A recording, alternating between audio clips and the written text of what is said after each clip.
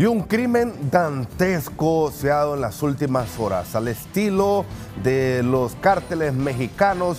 Precisamente se ha dado ayer el hallazgo de un cuerpo colgado en un puente en la Ceiba Atlántida. Nuestro compañero Steven Salgado a esta hora de la mañana nos tiene detalles y nos tiene reacciones al respecto sobre esta hazaña y sobre este eh, precisamente asesinato que se ha dado en las últimas horas. Adelante, Steven. Bien, Fernando, me encuentro con don Hugo Maldonado, el presidente del CODE. Sobre este tema, eh, al estilo de cárteles mexicanos, están apareciendo personas colgadas de puentes, lo vimos ayer, lo que fue en la Ceiba, y la violencia continúa también en el territorio nacional. ¿Cuál es el análisis que hace el CODE sobre toda esta situación? Mire, es un gusto saludarles amigos de Canal 11, la señal de la nación. Es preocupante la situación el departamento de Atlántida como que se está convirtiendo en el, en el nido de determinado sector antisocial, del crimen organizado, narcotráfico. Muchas muertes violentas nos reportan y hay muertes violentas como la de ayer que ya nos deja como eh, más, eh, nos asusta más como tener el pudor de colgar a una persona y dejarlo ahí. Ese es un mensaje de unos para otros, no nos cabe la menor duda.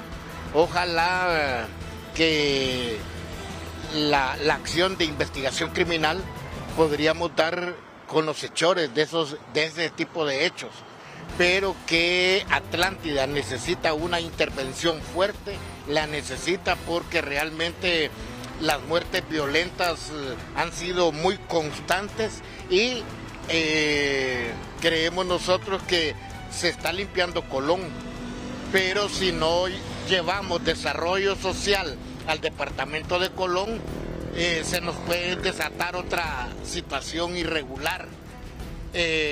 si nos venimos a limpiar Atlántida, y convertirlo como en el, no solo en la novia de Honduras, sino en, en, ese escape turístico de desarrollo para el país, realmente estamos perdiendo un corredor que verdaderamente debería de traernos muchas divisas y en vez de aparecer esas muertes eh, colgadas como, como pasó allí en el puente de la Saupín, realmente es una situación de de, que nos levanta las alarmas para ver cómo logramos una estrategia diferente en el sector del Atlántico del país. ¿Cómo deben proceder las autoridades? Porque me salta dos aspectos. El primero es una intervención en lo que es Atlántida y el segundo es también buscar un desarrollo económico, porque no solo se trata de limpiar la zona. Es correcto. Nosotros siempre hemos, eh, siempre hemos dicho eso.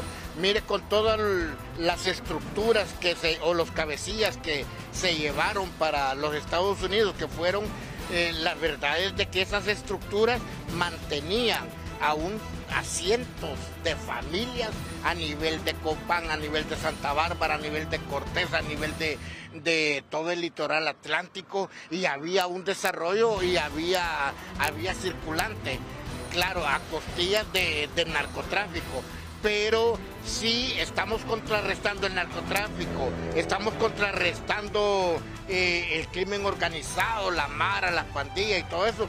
¿Por qué no impulsar un desarrollo socioeconómico a nivel de toda esta zona que lo merece, que es propicia para ello y, podamos ir contrarrestando también la pobreza, la miseria, la, la situación de falta de circulante en el sector Ojalá que esta semana morazánica se les pueda inyectar a, todos los sectores turísticos del país eh, una buena cantidad de dinero para que sirva eh, como el motor de un despegue económico eh, en, en, esos sectores, porque realmente la violencia y la criminalidad nos sigue afectando y nos sigue pegando duramente Don Hugo Maldonado, presidente del COE, reaccionando a, esta, a estos últimos hechos violentos. Vamos a volver con ustedes al estudio, compañeros.